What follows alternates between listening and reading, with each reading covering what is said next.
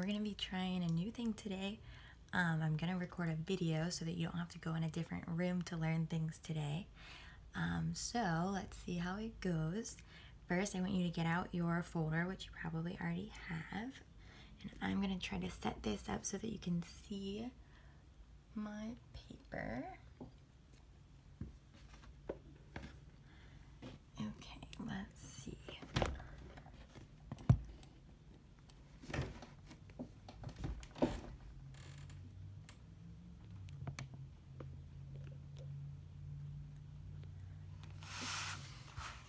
All right, we'll see how this works. So open up your folder and the first thing that should be um, in your pocket is this packet. So get that out and also make sure you have a pencil and a calculator and that should be all you need. Um, you should have the red calculators or something that looks like this. Okay, so let me put my name and I have a whole bunch of pens in here right now. So I'm trying to make sure you can see what I'm writing. Okay, so last week we did a lot of things. Oh, I don't want the camera to fall. Um, we did a lot of things with adding and subtracting rational numbers.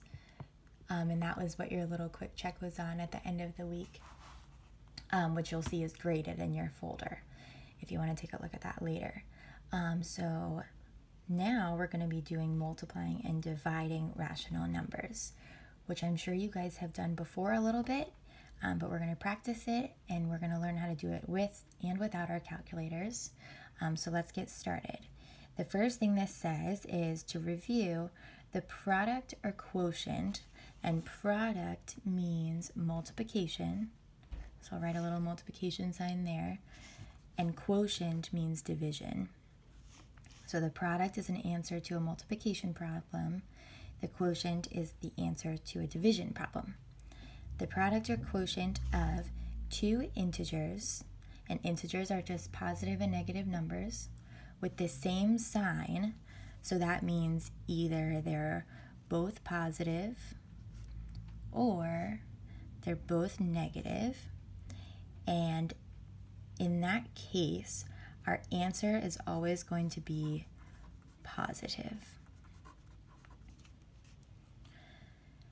Okay, then the next thing says the product or quotient of two integers with different signs that's going to be negative.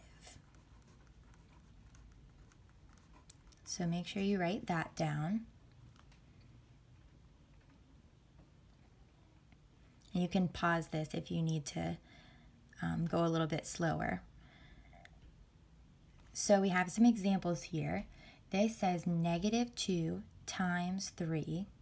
So we have a negative times a positive.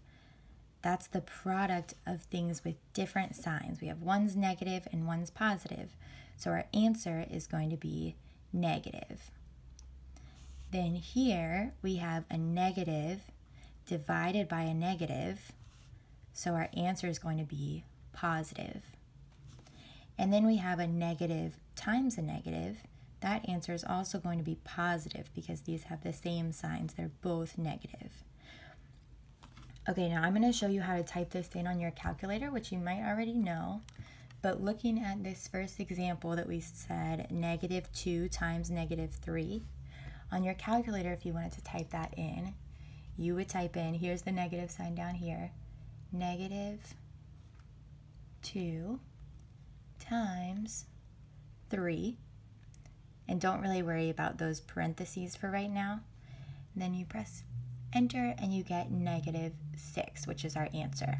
Now, if you wanted to type in those parentheses, those are right here. And you could type in negative 2 and then close your parentheses times 3 and you'd still get negative 6. So you can use your calculator if you want or you can try to do this without a calculator. Um, let's try number 1 on here. It says negative 4 times 5. I'm going to use my calculator. negative 4 times 5. And I get negative 20. So I'm going to write that down. And that makes sense because negative 4 and positive 5, those have different signs. One's negative, one's positive. So when I type that in, it makes sense that I get a negative answer. Okay, so go ahead and finish the rest of this page by yourself. You can use your calculator or you can just use your own set of skills. Um, and after that, you will move on to the next thing. So hopefully this video went okay.